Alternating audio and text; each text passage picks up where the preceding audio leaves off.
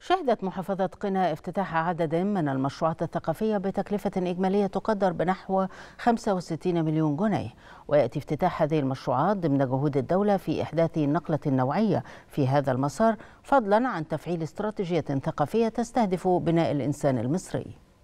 تزامنا مع احتفالات ذكرى ثورة الثلاثين من يونيو افتتحت وزيرة الثقافة نيفين الكيلاني عددا من المشروعات الثقافية بمحافظة قنا وبتكلفة إجمالية تقدر ب 65 مليون جنيه. بعد الانتهاء من عمليات تطويره وإعادة تأهيله بالكامل تم افتتاح قصر ثقافة نجا حمادي فضلا عن مكتبة مصر العامة والتي قالت عنها وزيرة الثقافة إنها منارة ثقافية تنويرية جديدة للعلم والمعرفة تستهدف الارتقاء بالمستوى المعرفي لأبناء المحافظة. محافظ قنا من جهته أكد أيضا أن الدولة تعيش حالة متميزة من الحراك الثقافي والتنموي بكافة أرجائها في ظل إيمانها الكامل بأهمية المردود القوي لقوى مصر الناعمة في تشكيل الوجدان الشعبي. جهود كبيرة تبذلها الدولة في إحداث نقلة نوعية في هذا المسار فضلا عن تفعيل استراتيجية ثقافية تستهدف بناء الإنسان المصري والقادر على مواجهة التحديات الراهنة وذلك في ظل التحديات الجمهورية الجديدة لبناء الإنسان المصري.